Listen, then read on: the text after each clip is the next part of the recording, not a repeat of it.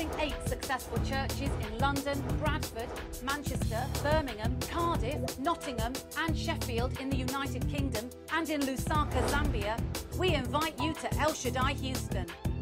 Come and be a part of a charismatic, global, and faith filled revolution that is set to make a mark in your life that can never be erased. We meet as a church on Sundays at 10:30 a.m.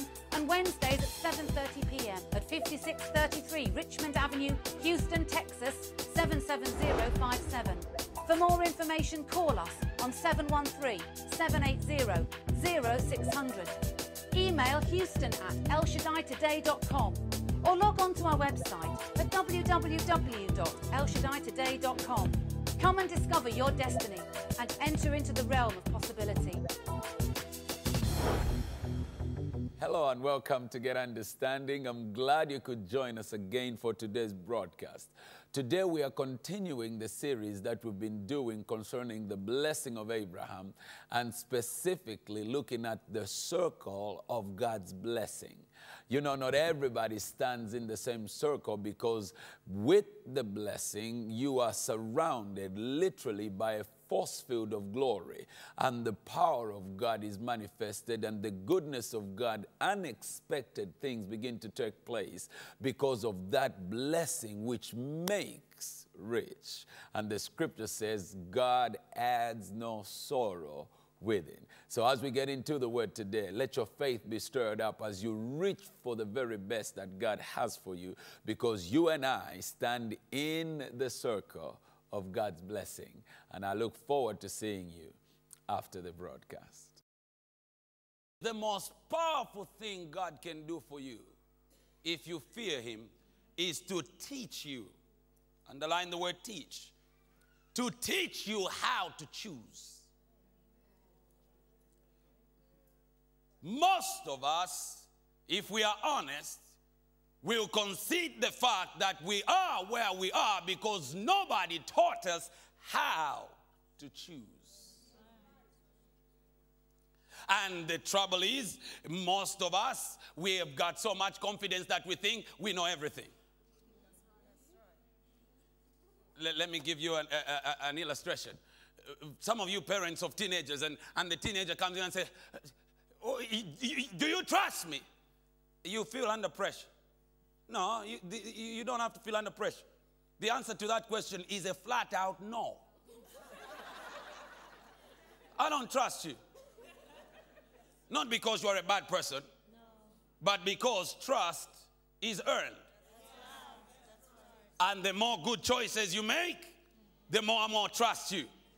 So you shouldn't be asking me whether or not I trust you. You should be doing things that earn my trust. Boy, I'm preaching better than you. I am any. But somebody got to teach us how to choose. How to choose a career. How to choose your dress code. How to choose the way you present yourself. Now, I'm not talking about having a one style. No, no, you ain't got to wear a suit all the time. You can't try to be a music mogul looking like me. Nobody is going to hire you. You have to understand the protocol of your industry. teach you how to choose what career you're going to want. Because it might seem exciting right now to be, you know, go to university and take women's studies. Thank God for women now. But then imagine 20 years down the line when you got five mouths to feed with a degree in women's studies. Who's going to be paying you enough for you to feed those little mouths and, and they are programmed to eat everything in the house? But nobody chose, taught you how to choose. But he said, if you fear the Lord, he will teach you how to choose. Don't buy that house. Don't go over there. Don't mix with them. Don't listen to them. They are trying to act right, but it's not right. Don't, don't, don't do this because that will be the end of that. And, and God teaches you how to choose. But now notice what will happen because of that. Verse 13. He himself shall dwell in prosperity. Well, there we go again. Look, I didn't write this. He said it, and I believe it. He shall dwell in prosperity, and his descendants shall inherit the earth. That, that right there for your kids. The whole earth belongs to your sons and your daughters. Hallelujah. And the secret of the Lord is with those who fear him. And I'm going to leave this alone. And he will show them, he will demonstrate his covenant. He's going to make the word become flesh in their life because they got revelation knowledge. They got the secret of the Lord. But I, I want to focus on verse 13 and, and, and, and uh, uh, check this out. He shall dwell in prosperity. The, one translation, Tyndale's Living Translation says, He shall dwell in the circle of God's blessing. So he said, when you fear the Lord, and he teaches you how to choose, notice you will be standing in the circle of God's blessing. There is such a thing as the circle of God's blessing. Yes, everybody might be in this room, but we are not, not all of us are standing in the circle of recession. You're going to see where we're going. We're not all standing in the circle of defeat. Yeah, we might have challenges, but, but ultimately, I'm standing, you're standing in the circle of God's blessing. Now, what you gotta do is understand what that means. If what we saw last week about Abraham, Isaac, and Jacob, and Joseph is the product of standing in the circle, then I submit to you that in the same circle that they stood in, if he is not just the God of Abraham, Isaac, and Jacob, but is the God of Ramson Mumba, I have the same blood birthright to expect what they saw in their lives in my lifetime. Because it's in the same circle. Can you say amen? Now, now, look at this. You will stand in the circle of God's blessing. Now, let's talk about a circle. Why, why, why talk about a circle? Because, because by definition, a circle is an exclusion zone. It's like they tell you, if you get into this particular zone, you are now liable for the congestion charge in London.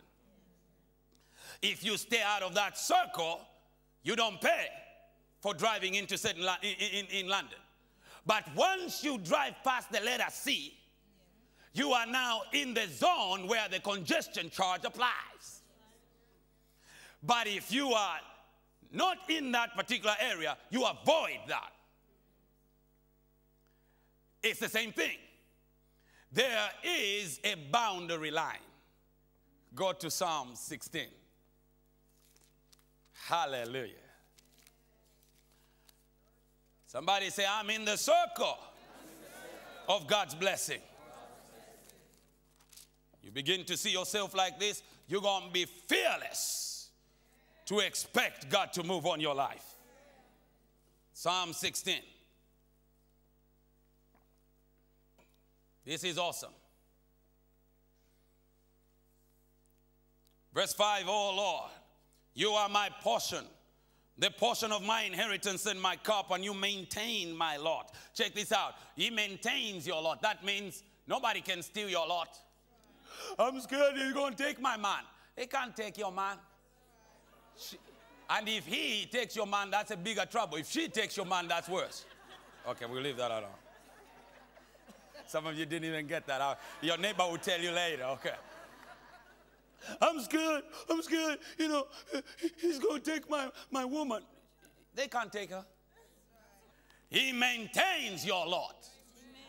They're going to take my job. They can't take your job. They're going to take my money. They can't take your money. They're going to take my stuff. They can't take your stuff because God will see to it that He maintains your lot. Hallelujah. Before anybody can steal your stuff, God's going to say, You can't touch that. So everything that's been taken from you just means it went yours. Everybody that can leave you just means they weren't supposed to be around because God will maintain your loss. Now, check this out the concept of blessing, boundaries. He says, the lines Oh, suki suki now. We're talking about something else now. They have fallen unto me in broken places. Can you read? We'll read it later again. The lines. Come on, go like this. The lines. Come on, touch yourself, your big self, little self, whatever you are. The lines have fallen unto me in pleasant places. Glory to God. The lines are fallen unto us in pleasant places, and we have a good inheritance. Notice there's a circle where everything around you is destined to become pleasant. It may be painful right now, but in the final analysis, the lines have already fallen unto you in pleasant places, and you have a good inheritance. Understanding this, that's why David in Psalm 27 said, I would have fainted. I would have lost my mind unless I had believed to see the goodness of the Lord in the land of the living. No, you're not going to die before you see this. You will see it before you check out of here. Because the lines are falling unto me in pleasant places. And I have a good inheritance. Now, there it is again. Notice God has marked boundary lines for you. Go to Zechariah chapter 2. Here, here is the place I came to. If God can't do it, it can't be done. I mean, so, so why, why, why, why stay up all night trying to help him be God? I mean, this is serious. If God can't do it, then who can do it? Who do I think I am to think that if Jehovah can't get it done, I can do it by my strength? So the Bible says, you know, cast your cares upon him. So you just roll the care and you, there you are, Jesus. You remember Wednesday night. Put it in the hands of Jesus. Okay, okay, okay, okay. And he will take your not enough into more than enough. After planting eight successful churches in London, Bradford, Manchester, Birmingham, Cardiff, Nottingham, and Sheffield in the United Kingdom, and in Lusaka, Zambia, we invite you to El Shaddai Houston. Come and be a part of a charismatic, faith-filled revolution that is set to make a mark in your life that can never be erased. We meet as a church on Sundays at 10.30am and Wednesdays at 7.30pm at 5633 Richmond Avenue, Houston, Texas 77057.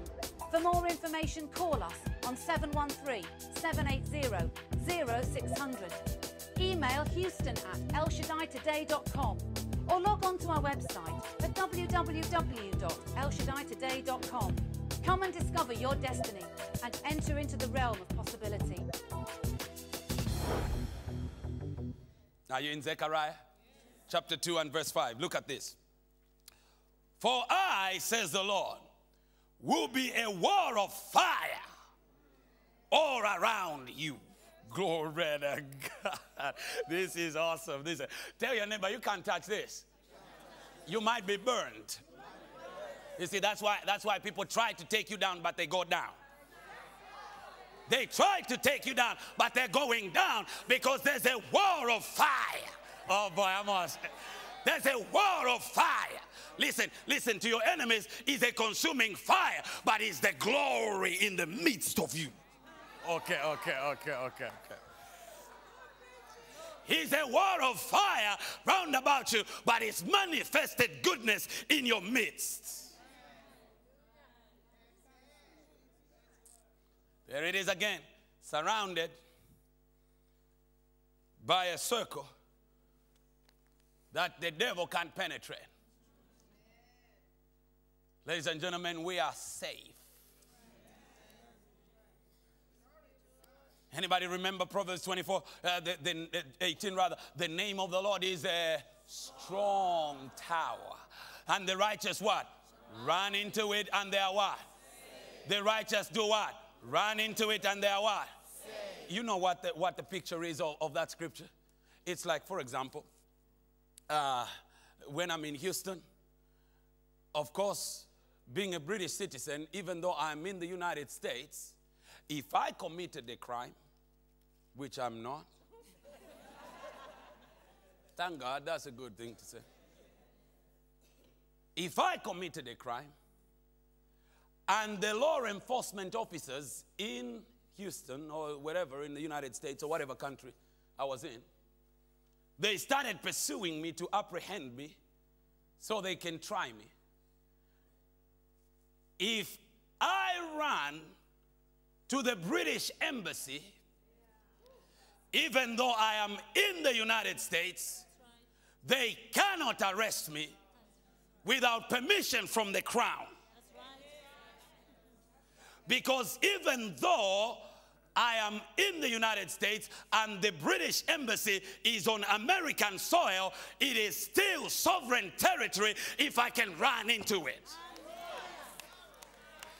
You may be in the world and the world might have a recession. But in the world, there still is the kingdom of God. And if you can run into the kingdom, you have immunity from the laws of that land because the name of the Lord is a strong tower. Somebody go and say this. So there it is again. There is a there's a safe place where you can hide. He's a wall of fire round about you. And the glory, I'm gonna leave that alone. You know, glory is, is not just smoke coming out of my afro. glory, glory is, is manifested goodness. You remember he told, he, told, he told Moses, Moses got tired of working for somebody he never saw. So, right out of context, he says, they are talking about something completely different. He says, Show me your glory. And God says, I'm going to hide you in the cleft of a rock, and you're going to see my backside, my back parts, not backside. Someone say, God got backside? No, okay. you're going to see my hinder part. I'm going to leave that alone. And the Bible says, He hid him in that place, and Moses asking for the glory to see the glory, God answered him and said, I'm going to let my goodness pass you by. So the glory of God is the manifested goodness of God. So when he says, I'm going to be a fire around you, I'm going to terrorize your enemies. Those that bless you, I will bless them. Those that curse you, I will curse them. If your enemies come against you in one direction, I'll cause them to flee from you in seven directions. But when you are in the house, in the circle, I'm going to be manifested goodness. Go to Psalm 34. Let's check this out. Look at this. The angel of the Lord encamps all around those who fear them, who fear him, and he delivers them. Somebody says, Whoa, I'm surrounded by enemies. They are not the first circle. Don't get confused. Your haters are not the first circle that's around you. There's the angel of the Lord, and he's literally talking about Jesus. I'll leave that alone. He surrounds you all around you. There's no area that is left exposed where the enemy can break in. Now, he surrounds you and he's all around you. And notice his job to deliver you. Hallelujah. He's going to deliver you from any challenge in life because he surrounds you. Somebody shout, I'm surrounded, I'm surrounded. by the angel of the Lord. Chapter 32. Come on, let's look at this. Oh, this is good. Verse 7 again. You are my hiding place. Check this out. I just feel like I need to hide. It's okay this morning. Let me show you your safe haven. Anybody ever been in a season of life where sometimes you just feel like David said in Psalm 55, I wish I was like a bird with wings. So at least sometimes I could just fly away. Check out for a while and then come back later. Okay, let, let, us look at this. The, the, the, rest of you will, will, will, will cast out lying devils. Let me try again. He said, uh, if you've never ever been to the place where you wanted to hide, you haven't lived long enough. Thank you for your enthusiasm. You are my hiding place, and you shall preserve me from trouble. How? Because you shall surround me with songs of deliverance. now, now it's not just a wall, but it's singing around that wall. Okay, okay, okay, okay. He's not only a wall and lines that have fallen in pleasant places, but now he's singing songs of deliverance. Every time you tune into frequency, FM Holy Ghost. FM Holy Ghost and it's been singing that you're coming out because I surround you with songs of deliverance. I'm surrounded with songs of deliverance. I'm going to say it again until it gets in. I'm surrounded with songs of deliverance. So don't get confused now. Don't, don't see your enemies first. Don't see the trouble first. See that war of fire. Satan, if you put your little finger in there, you're going to be burned around here. You, you try to come in and, and, and, and no weapon formed against me shall prosper because there's a war of fire round about me. I'm in the circle of God's blessing. So, so tell your enemies, you want to dance? You better show up with a fire extinguisher first. Because cause we're going to barbecue you. You, you're about to be, I, I got the sauce, Jehovah got the fire, and we're going to BBQ you. Okay, okay, okay.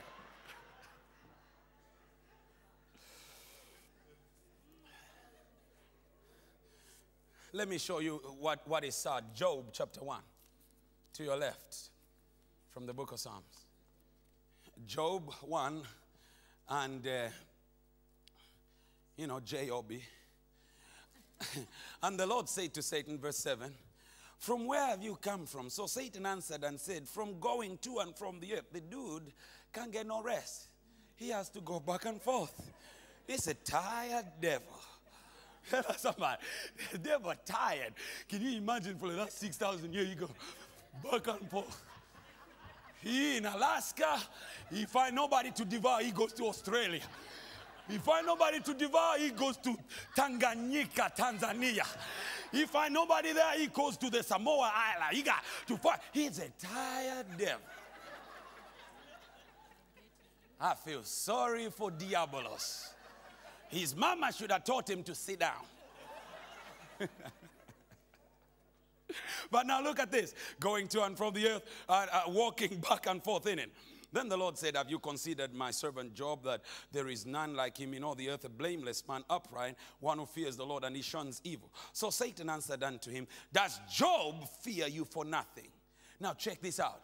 Check this out because we're talking about the circle of God's blessing. But but Job in verse 5, so it was when the days of feasting had run their course that Job would send and sanctify the children and, and would rise up early in the morning, offering burnt sacrifices, wondering, you know, maybe my sons have sinned and cursed God in their hearts. Job is living in fear, but but but but look at look at what Satan says. He says uh, he doesn't fear you for nothing in verse 9. Uh, uh, uh what, what, what is it that he, he fears you for? What, is it that, that, that makes Job the man he is? Verse 10 Have you not put a hedge around him and around his house and around everything that he has on every side? Oh, suke, suke. Now, look at this.